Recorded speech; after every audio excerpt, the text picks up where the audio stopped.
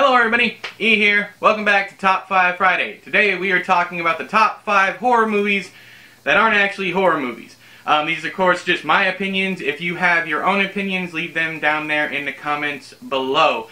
The first two on the list I don't actually have, so I'm going to try and put up a picture right here. And the first one is Full Metal Jacket. Uh, if you're a fan of the channel, you will know I don't like Stanley Kubrick movies. Um, I, I don't see what the big fuss is about him. But Full Metal Jacket is one of those movies that he got the first half right at least. As as soon as and there's going to be I should go ahead and say spoilers for every movie that I'm going to be talking about. Um, in Full Metal Jacket, as soon as Pyle kills himself, I that's the end of the movie for me. I don't sit around and watch the rest of it. That's it. That is Full Metal Jacket to me. In fact, I couldn't even tell you what happens in the second half of the movie. But uh, his uh, was it D'Onofrio? I think it is. His performance there on the toilet um, with the gun is absolutely horrifying, and that's why I put it at number five. At number four, we have The Secret of NIMH. Um, the, the, only thing I really remember about this movie um, is how terrified I was as a child and even a young adult watching this with the uh, the different uh, I guess that what was it a, a crow? Not not the crow. There was like a no, like an old rat. I know the crow plays with the string and the yarn. That was that was cute. But there's like an old rat with like wispiness coming out. But there was some terrifying images in there. When I brought this movie up on Twitter, everybody brought up Watership Down. I have neither seen the movie, the Netflix special, or read the book, which I'm going to try and find at some point in time because I have it around here somewhere and I want to try and read it. Um, but I'm not going to watch any of the movies until I actually do that. Maybe I'll do a book versus movie episode. Yeah, I still got to do Witches of Eastwick. Anyways, so next up are movies I actually have.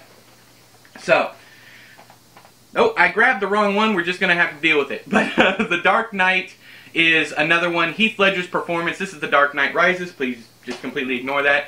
Um, but Heath Ledger's performance in The Dark Knight always has bothered me. Um, it's especially him dying afterward. There's, or actually, it was it was during the end of production, I think, because they had to CGI something with him, if I remember correctly. But Heath Ledger's performance of the Joker gets underneath my skin, especially when the the scene that really really bothers me is when they're at the party and he comes up and he grabs Maggie Gyllenhaal and you know messes with her or Rachel whatever. Um, no, was it Maggie? I don't know. I can't remember. Fussing me down there. It's been ages since I've seen the movie. But what stands out and the most important thing about it is Heath Ledger's performance of the Joker. That really I, I think it was the, the way his makeup is. I have a I have a thing about clowns anyways. Not a not a huge phobia, but I really like being scared. Is one of my I guess I don't not not pet peeves, but um, a clown with bad makeup terrifies me. But I like seeing clowns like that for the same reason I get on roller coasters. get me? All right. Next up, these last two. If these are on anybody else's list, I would be impressed. Chitty Chitty Bang Bang. Um, this movie does what any good horror movie or novel or any horror whatsoever does. Gives you that false sense of security. And yes, Chitty Chitty Bang Bang. Um, but then the Candyman comes on screen. This dude has terrified me since I first saw this as a child. I got goosebumps right now just just thinking about him. The way he comes through town calling his you know his call, saying his his deal, his cart, the way the slats come down and you see that it's actually a prison. I was one of those kids that was scared of the ice cream man. It's like what does he have in that you know, in that even before even before I was old enough to, to think about stuff like that, I would always wonder what in the world does he have back there? It can't just be ice cream, right? There's got to be something else back there, and it was there was this shade of mystery. And then I watched Chitty Chitty Bang Bang, and this dude has a literal cage underneath his candy cart.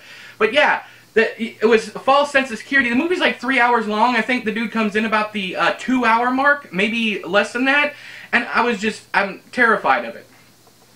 Last, certainly not least, my number one pick here is a movie that bothers me to my core, and it has absolutely nothing to do with religion. I think it is I think this movie is the best horror movie ever made. And not just the best horror film um, let's see the, the best horror film that uh, uh, that's not a horror film. I think it is I personally feel that it is my favorite horror movie and that is The Passion of the Christ. Uh, not Saw, not Hostel. None of those none of those movies affect me like this one does. It has nothing to do with religion. I don't believe in I don't believe Jesus Christ was the savior or anything like that. If you if you ask me, I'm an atheist. But with with this movie, there is something so visceral and so upsetting about the story and the way Mel Gibson put it to to screen. Not a huge fan of Mel Gibson, but or his direction. I don't like Braveheart. I don't like any of The Patriot. I don't like any of those other movies. But I do like this movie because it is terrifying. I went to go see it in theaters three times, twice with my wife.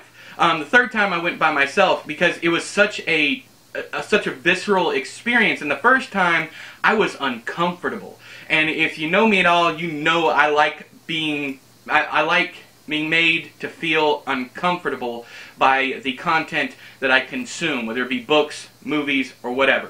So that's my top five horror movies that are not horror movies. I would love to hear uh, your top 5, 10, 20, whatever. Leave them down in the comments below. If you want to make your own video, make sure to tag me either on Twitter or link down there in the doobly-doo. Spam detection might catch it, but I will try and go ahead and approve it.